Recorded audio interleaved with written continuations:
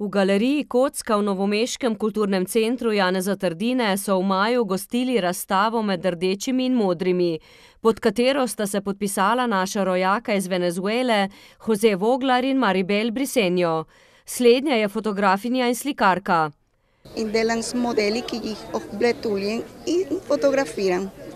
Mislim, da je življenje v Sloveniji odlična priložnost, ker bom lahko pokazala svoje delo.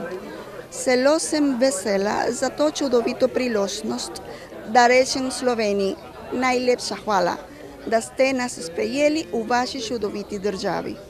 Še posebej si bi se rada zahvalila gospe Branki Bukovec za vso nesebično pomoč.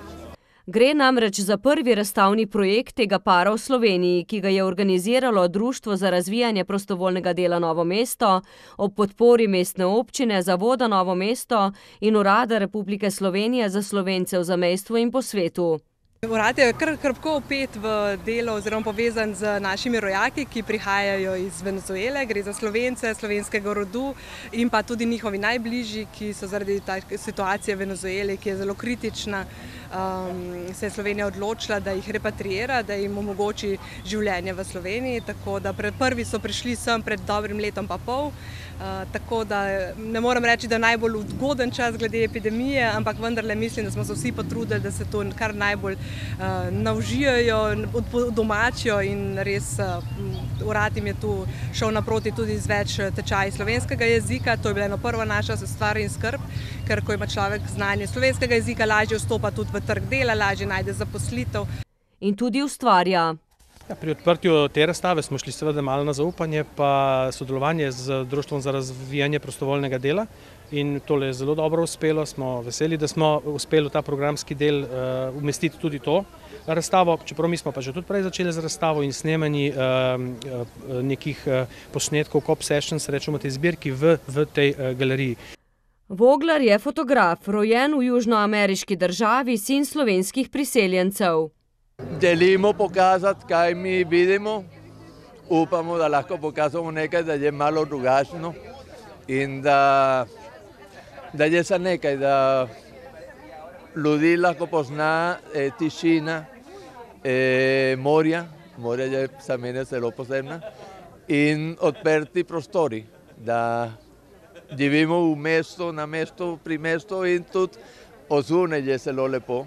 In, eh, to, to hočem pokazati in mislim, da bom lahko pokazal. Ti talenti, ki so jih prenesli s sabo iz 10 tisoč km oddaljene Venezuele v naš, v naš prostor v Slovenijo, je zagotovo obogatitev. Marsikdo v sebi skriva talente, marsikdo je bil tudi že uspešen ali zelo uspešen tudi v Venezueli.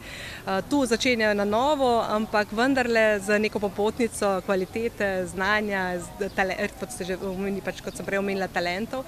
In zelo vesela sem, da smo danes tukaj lahko pospremili razstavo proti koncu med rdečimi in modrimi, ker kaže res točno to, um, kaj lahko prinesejo uh, oni nam in tudi kaj pravzaprav taka razstava njim dvigne samozavest, da bolj samozavestno, bolj odločno in tudi z enim večjim pozitivnim pogledom prihodnost gleda, živijo tukaj lahko. Urad z novomeškim društvom sodeluje že vrsto let, tudi prek razpisov, poudarja ministrica. In zaradi vseh aktivnosti, ki jih imajo z slovenci, ki prihajajo ali pa stiki tudi predvsem Zahodnega Balkana, ko prihajajo sem in tukaj uh, je njihova podpora res izjemna. Jo tudi mi sami vidimo, tudi doživljamo, kako s kakšno res srčnostjo, kakšnim zagnanostjo sprejemajo mlade in pa tudi starejše, ki prihajajo v Slovenijo v novo mesto, da bi tu ali preživeli nekaj časa kot študentje ali kot uh, delovna sila, se pravi zaposleni, ali pa potem tudi tukaj trajno ostali in ta pomoč, ki jo tukaj nudi društvo uh, pod budnim očesom, roko, desetletje že tudi njena predsednica, ki je pravzaprav sinonim, bi rekla, in vse poznano, res poznana uh, tu in širše, um, da je res veliko lažje in potem tudi uh, veliko manj stresno priti sem in tudi zaživeti na novo.